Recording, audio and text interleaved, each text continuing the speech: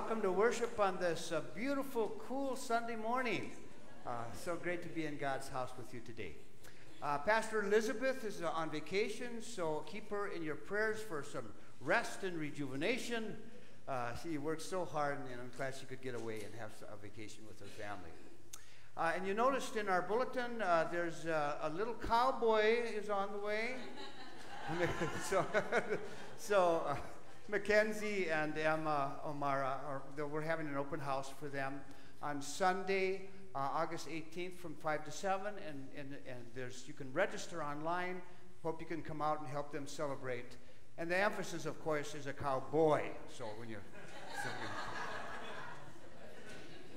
uh, other than that, uh, we have, of course, our primary elections are coming up this week, and we have uh, on on Tuesday and Wednesday, we, Monday and Tuesday, we have it here uh, at Dilworth Lutheran Church. And so uh, I encourage you to come out and be a part of that as well.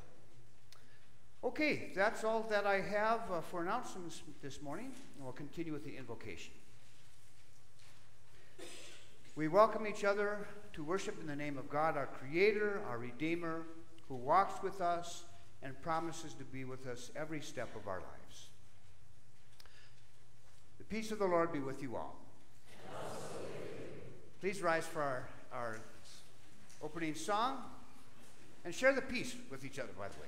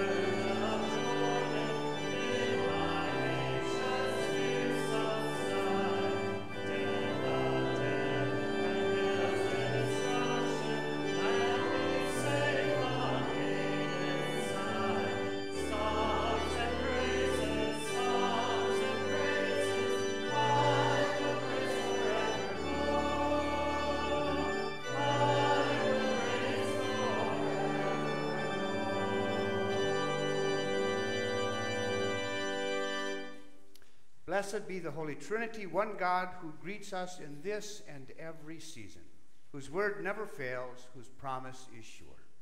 Amen. If we have died with Christ, we will also live with Christ. Let us confess our sin in the presence of God and of our neighbors.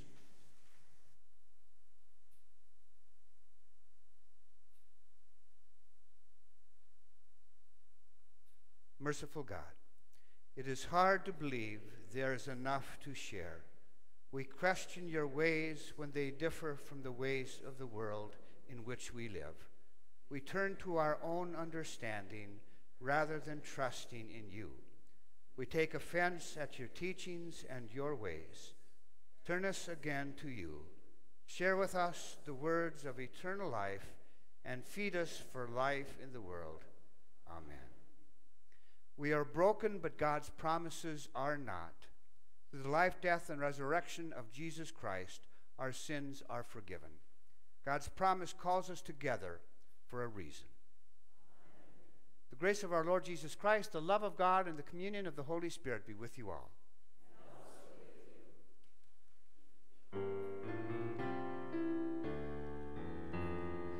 Kyrie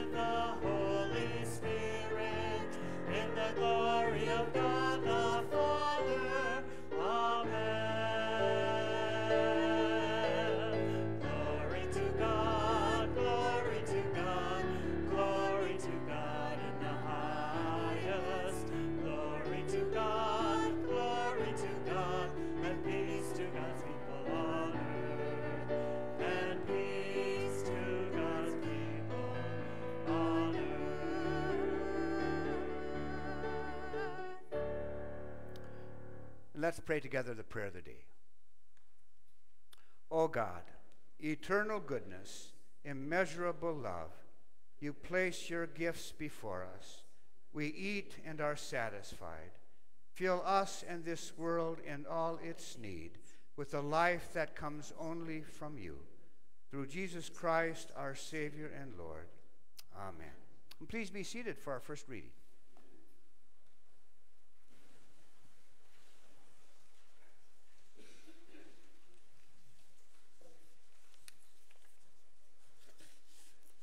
Our first reading is from Psalm 51.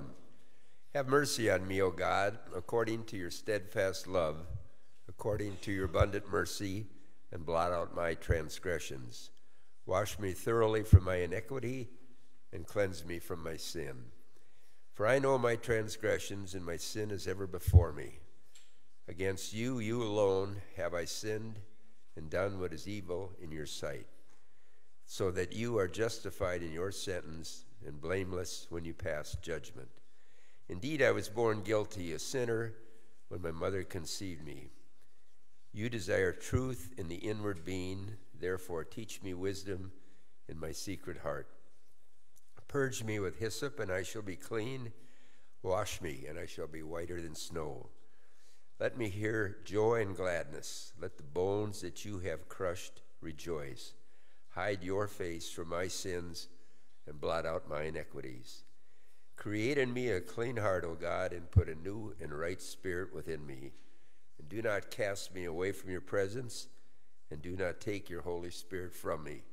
Restore to me the joy of your salvation, and sustain me in a willing spirit. I will teach transgressors your ways, and sinners will return to you. Deliver me from bloodshed, O God, O God of my salvation, and my tongue will sing of your deliverance.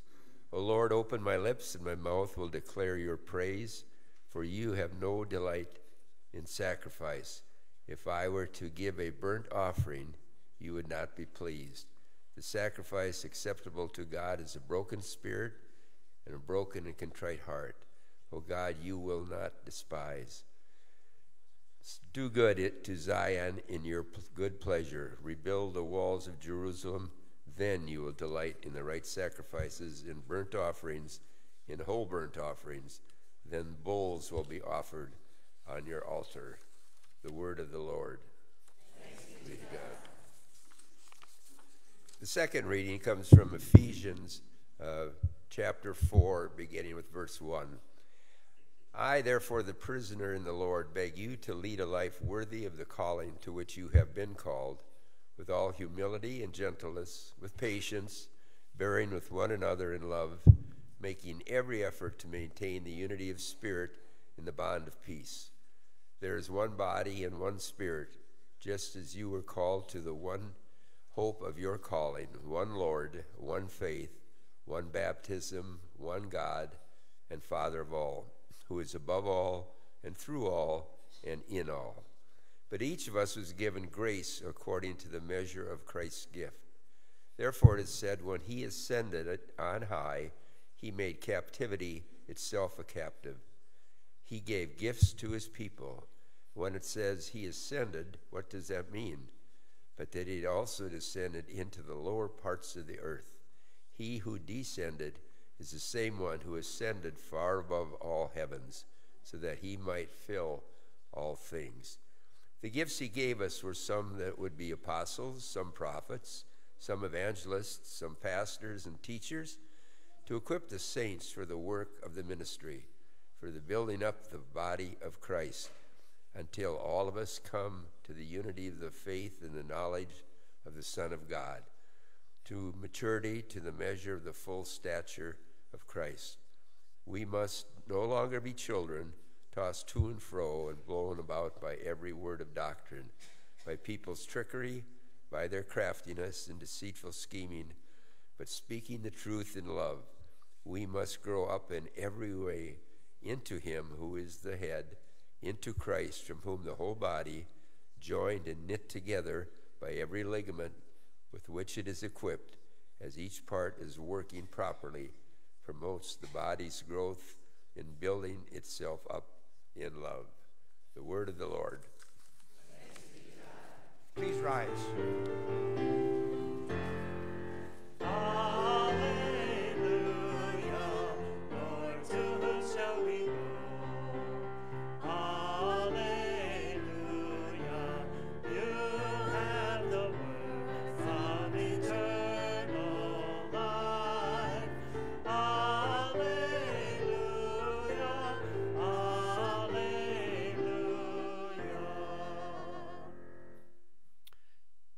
So when the crowd saw that neither Jesus nor his disciples were there, they themselves got into the boats and went to Capernaum looking for Jesus. And when they found him on the other side of the sea, they said to him, Rabbi, when did you come here? And Jesus answered them, Very truly I tell you, you are looking for me not because you saw signs, but because you ate your fill of the loaves. Do not work for the food that perishes, but for the food that endures for eternal life which the Son of Man will give to you. For it is on him that God the Father has set his seal. Then they said to him, What must we do to perform the works of God? And Jesus answered them, This is the work of God, that you believe in him whom he has sent. So they said to him, What sign are you going to give us then, so that we may see it and believe you? What work are you performing? Our ancestors ate the man in the wilderness, as it is written, He gave them bread from heaven to eat. And then Jesus said to them, Very truly I tell you, it was not Moses who gave you the bread from heaven, but it is my Father who gives you the true bread from heaven. For the bread of God is that which comes down from heaven and gives life to the world. And they said to him, Sir, give us this bread always. And Jesus said to them, I am the bread of life. Whoever comes to me will never be hungry, and whoever believes in me will never be thirsty. The gospel of the Lord.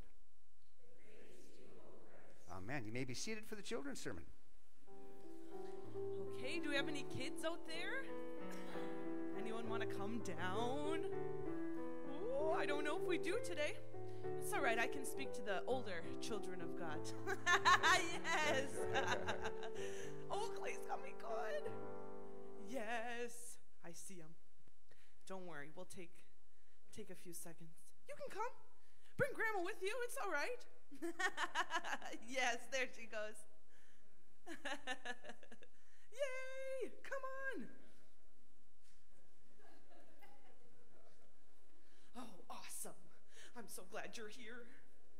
All right, I have a story to tell you. Are you ready? Have you seen my husband Emma before?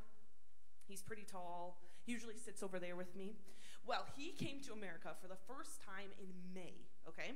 And when he got here, he pointed out a lot of different things about our culture maybe about our food, the way we dress, talk, the way we drive. And one thing he said about our food kind of made me laugh. He said, We eat a lot of bread. Do you think that's true? Do you eat a lot of bread? And it got me thinking. I was like, you know what? Actually, I think we do. Maybe I have a bagel for breakfast. Maybe I have a sandwich at lunch. Maybe I have a hamburger for dinner. That's a lot of bread, right? I mean, look here. I have three types of bread I brought from you just from my house. Isn't that a lot of bread? And I'm to guess most of us like bread. Do you? Yeah, I like bread. Well, in our gospel passage that we just listened to, guess what? The people also liked bread. And they followed Jesus because they wanted some more of that bread that he gave them. So if you came to church last Sunday, we talked about Jesus and how he did this miracle, how he had five loaves of bread and two fish, and he multiplied them so that everyone, thousands and thousands of people, could eat this bread and fish. So this group of people had just seen that miracle, and they had eaten the yummy bread, so they decided to follow Jesus to get more. Isn't that silly? I don't know, maybe I can relate actually. Yeah, I do like bread. I do. But when Jesus saw them, he knew their hearts, and he knew that they had only followed him for the bread, not for his teachings, not for his preaching, but because they wanted more miracles, more bread, right? So he said to them, Stop chasing after earthly bread. So let's think about earthly bread, okay? Here, maybe we eat a hamburger for lunch. What happens at dinner? Are you going to be hungry again? I think you're going to be hungry again. Ooh, and then look at this one. This one's kind of gross. If you leave bread out for too long, what happens to it? You see in the corner? Ugh, mold. How yucky. We don't eat that one, right? But Jesus was saying that he has better bread for us, and he calls it the bread of life. And he said that he himself is the bread of life. Isn't that amazing? Now, Jesus is doing what he normally does. He's using something that we know and we love to make a point. So he was saying, I'm not talking about earthly bread that you can eat, I'm talking about spiritual bread that will fill our hearts. Now, this bread will last forever and it will keep you full forever. Isn't that amazing? So, not real bread that we can eat, but spiritual bread. And it's Jesus, only Himself, who can fill our hearts and who can satisfy our souls. So I like to think of this spiritual bread. I like to come to church and think, when I'm here, I'm eating of that bread. When I ask Him into my heart, oh, I've eaten of that bread. When I pray, I eat of the bread. When I go to church school, I eat of that bread. And it satisfies my heart and it fills my soul. Isn't that amazing? So today, Clay, when you go home, cold, I don't know, when you eat lunch, and it might be some bread now, I want you to remember that Jesus is our bread of life and that he satisfies our soul and he fills our bellies. Not our bellies, our hearts. Well, he does fill our bellies sometimes too. All right, let's pray. Dear Jesus, thank you for being the bread of life. Fill our hearts and satisfy our souls. In your name, amen.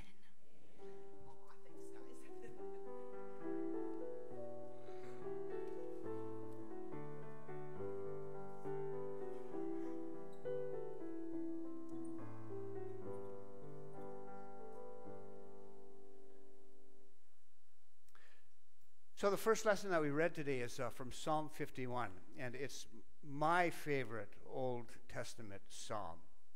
And, uh, and from which actually comes our, our very familiar offertory uh, that we, uh, we, we, often sing together. We'll be singing today as, as our offerings are brought forward. Uh, and it's a song that, uh, that you're familiar with Create in me a clean heart, O God. You can join me as we sing it. Create in me a clean heart, O God, and renew a right spirit within me. Cast me not away from your presence, and take not your Holy Spirit from me. Restore to me the joy of your salvation, and uphold me with your free spirit. I love that offertory. I even sing it in the shower in the morning. You know, there's nothing, nothing like being clean on the outside and on the inside, you know, that begin a new day. Uh, but tradition tells us that uh, Psalm 51 was written by King David. And that certainly makes really good sense when you know his story.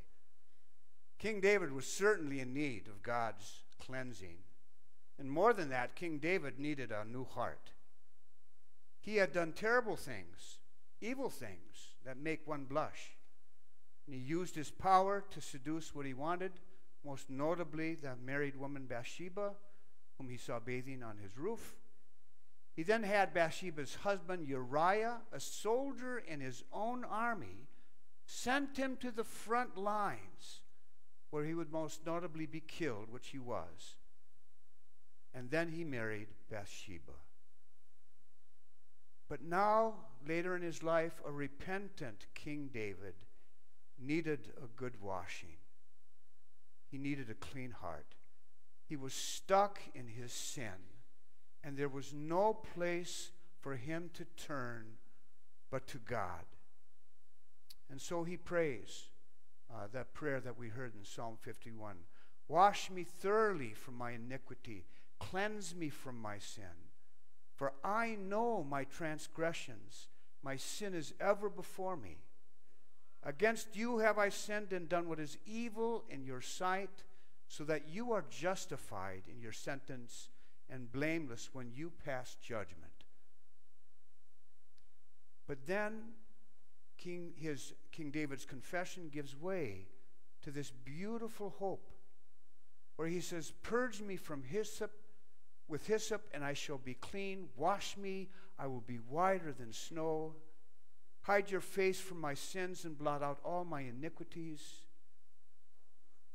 And so in his confession is there's this hope that we hear.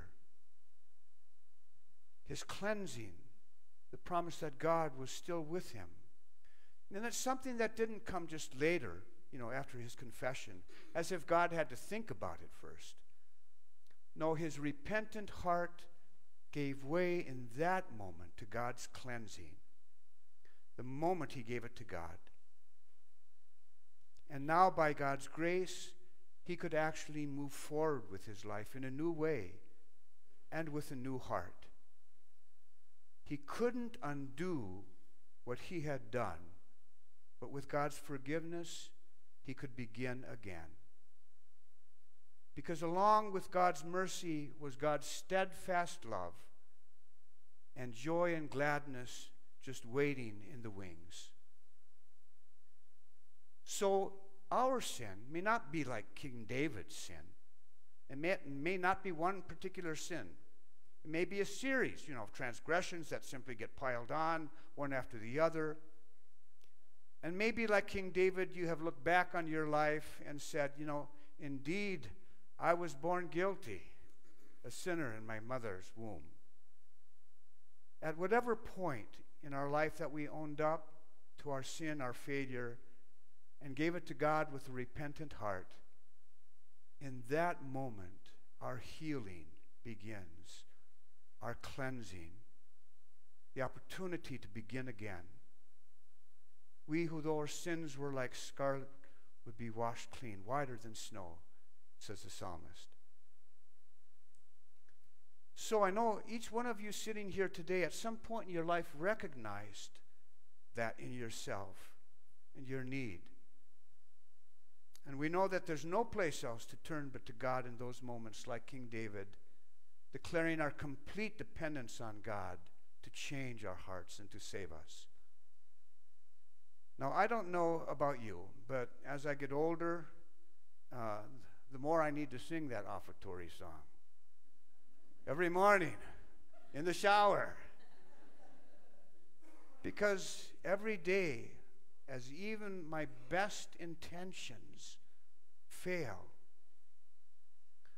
so, God's answer to our confession is that the gift of His beloved Son, Jesus Christ, our Lord, and the grace that we find in Jesus.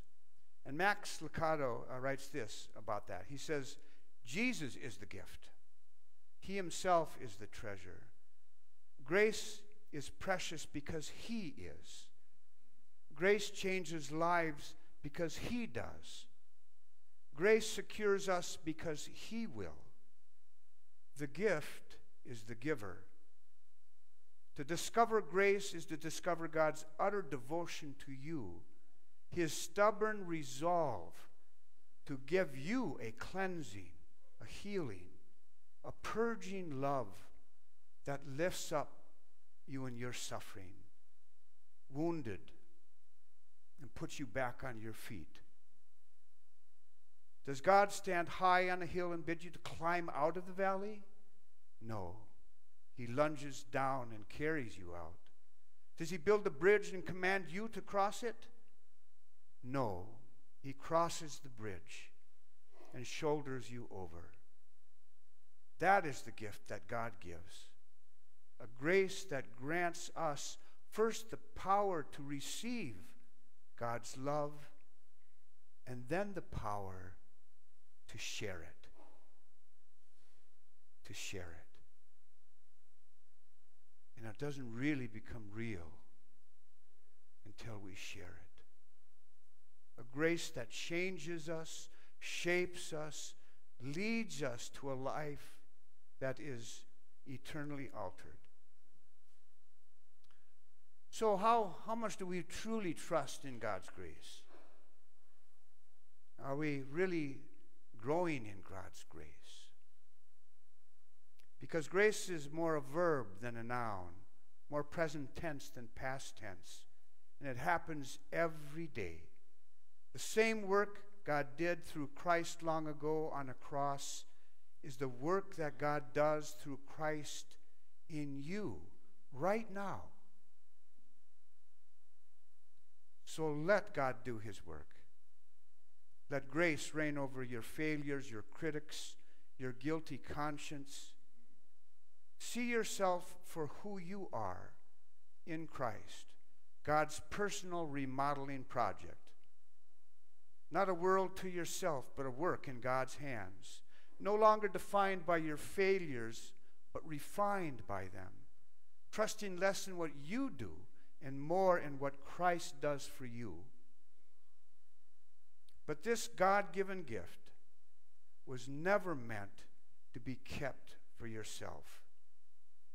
The Apostle Paul says it so beautifully in Ephesians I beg you to leave a life worthy of the calling to which you have been called, with all humility and gentleness and patience, bearing with one another in love making every effort to maintain the unity in the Spirit and the bond of peace. Because finally, in the end, there is just one body, one Spirit, just as we're called to one hope, one Lord, one faith, one baptism, one God and Father of all. Each of us given grace according to the measure of Christ's gift. So the gift of God's grace is in you and then it draws you out to the larger whole as God unites us as one. It is this gift that continues to change lives because you not only embraced it for yourself, but you gave it away. Our Lord takes that little that we give, and in his hands and with his blessing, he changes the world. So last Sunday, we heard the, the first part of the feeding of the 5,000. A large crowd had been following Jesus. Uh, they were poor, they were hungry, they were in need. Uh, and Philip says to Jesus, as he says, you know, um, you know, takes mention of that fact. He says, you know, six months' wages could not buy enough bread for each of them to get a little. But then Simon pointed to that little boy who had five barley loaves and the two fish. And he said to Jesus, But what are they among so many? So Jesus had everybody sit down, and he took those five loaves and two fish and gave thanks. And then, as Pastor Elizabeth said last week, he personally went to each person of those 5,000 and broke bread with them. And then, after he, they were satisfied, his disciples gathered up what was left over so that nothing would be lost, the text says.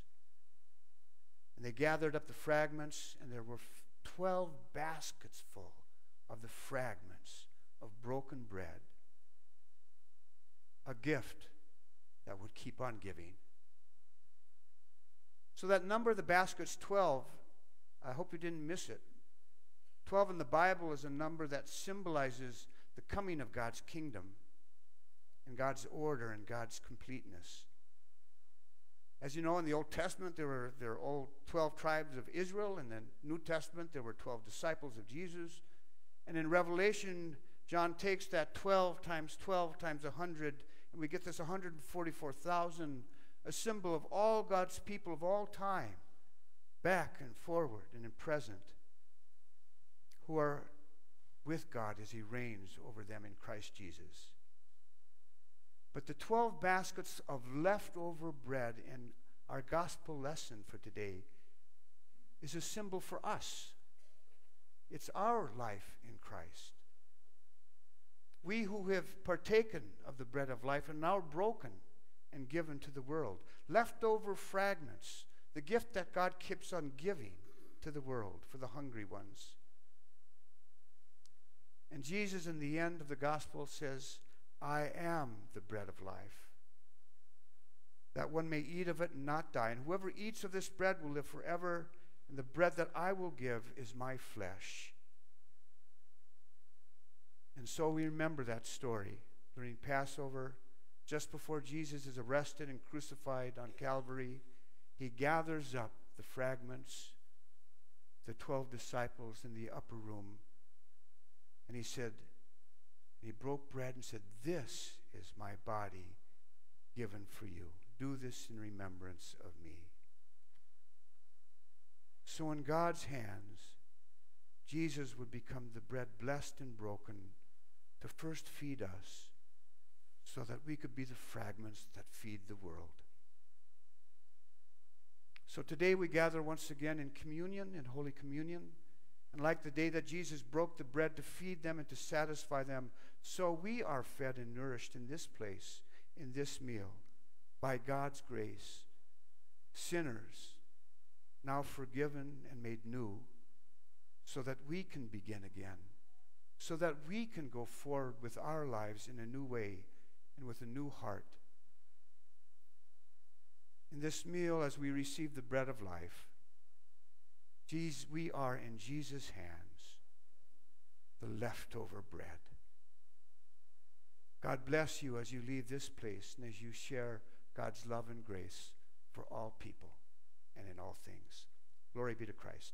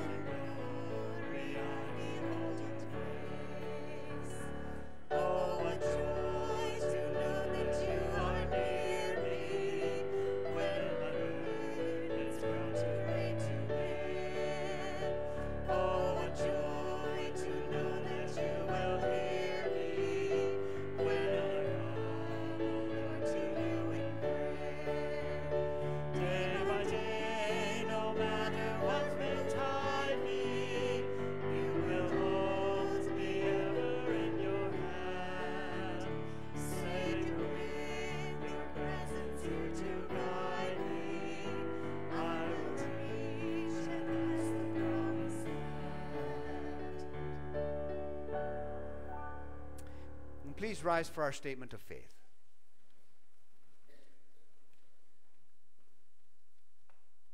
We believe God is our creator and has promised to love us always. We believe Jesus Christ, fully God and fully human, is God's promise living among us. He experienced all the pain and joy and challenges of human life. God's forgiving love was to reveal to us when Jesus suffered death on the cross. He came back to new life and has promised us new life in unity with God. We believe the Holy Spirit is God's promise, touching our spirits, guiding us, even though the darkest and most difficult moments of our lives. We believe God is among us in community, mysterious yet very real. God promises to be with us always, even to the end of the age. Amen. Let us pray. Giving God, in our sin and brokenness, we hunger for a clean heart and a right spirit. In your beloved Son, the true bread from heaven, you have come to feed us with your love and mercy, your very life, to satisfy us and to make us new. May we share the bread of life with all the world through Jesus Christ, our Savior and Lord. Lord, in your mercy. God of our life together, you call us to work in your world both individually and with those in Christ who encourage and support and sustain us. We give you thanks that we are not alone in our baptismal journey of service and that your Holy Spirit gives us diverse gifts that complement one another. Bless our work and service in your holy name. Lord, in your mercy. God of our youth, we thank you for the blessing of our young people this week who went out to participate in service projects to beautify our community and show love for our neighbor. May we all be blessed to be a blessing to others. Lord, in your mercy. And Lord of your church on earth, make us ever mindful of our oneness one body, one baptism, one spirit, one Lord, one God, and one faith. By your Holy Spirit, help us to enjoy the gift of our diversity, which strengthens and enriches our life together always bearing witness to your boundless love. Lord, in your mercy. Lord, we thank you uh, for hearing us. We also lift up to you those members who have been asked to be remembered in, their, in our prayers. And together we pray for Andrea, Michelle, Valerie, Elsie, Jan, Tom, Lorna, Dale, Ron, Gunner, Jody, Nicole, Dana, Charlene, Jim, and Frank. All these we entrust into your care. Through Christ our Lord we pray. Amen. You may be seated and we'll continue with our offering.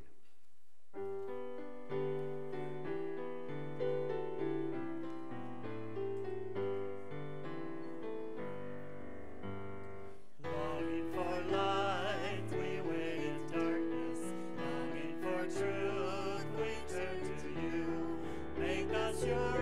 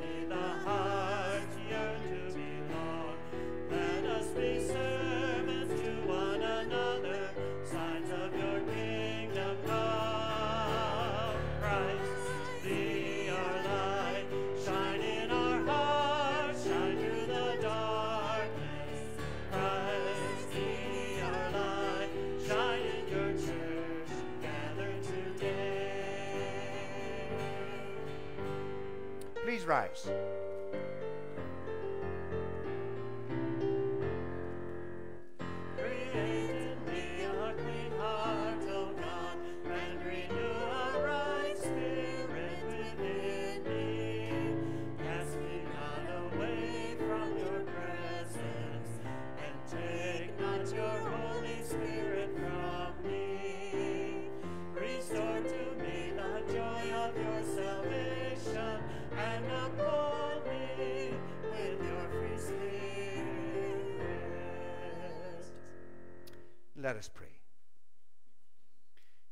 Bread of life, you have set this table with your very self and called us to the feast of plenty. Gather what has been sown among us and strengthen us in this meal. Make us to be what we receive here, your body for the life of the world. Amen. The Lord be with you. Lift up your hearts. Let us give thanks to the Lord our God. In the night in which he was betrayed, our Lord Jesus took bread, and after giving thanks, he broke it and gave it to his disciples, saying, Take and eat. This is my body given for you. Do this in remembrance of me. Again, after supper, he took the cup and gave thanks and gave it for all to drink, saying, This cup is a new covenant in my blood, shed for you and for all people for the forgiveness of sins. Do this in remembrance of me. Our Father, who art in heaven, hallowed be thy name. Thy kingdom come, thy will be done, on earth as it is in heaven. Give us this day our daily bread, and forgive us our trespasses, as we forgive those who trespass against us. And lead us not into temptation, but deliver us from evil. For thine is the kingdom, and the power, and the glory, forever and ever. The table is, uh, the table is set. Come and eat. You may be seated.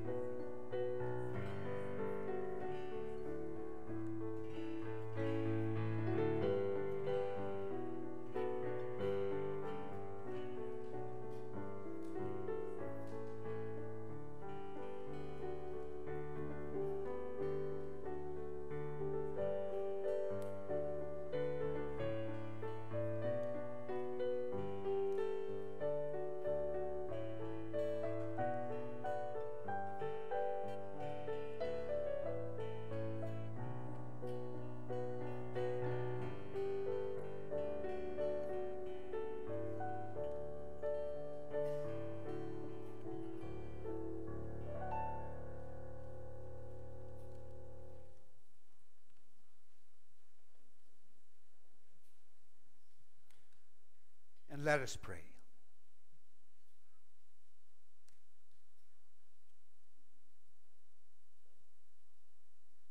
Jesus, bread of life, we have received from your table more than we could ever ask. As you have nourished us in this meal, now strengthen us to love the world with your own life. In your name we pray. Amen. Please rise for our benediction. And come on down, kids. Got the instruments in the front row. I bet he'll come running for that, right?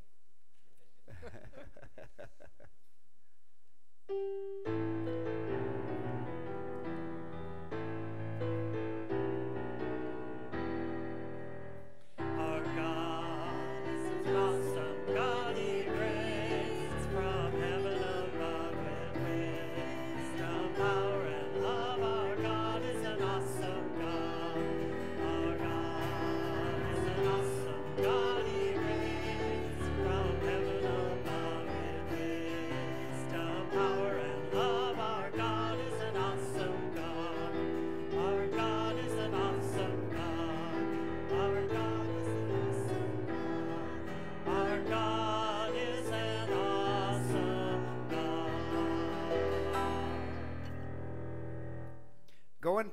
serve the Lord.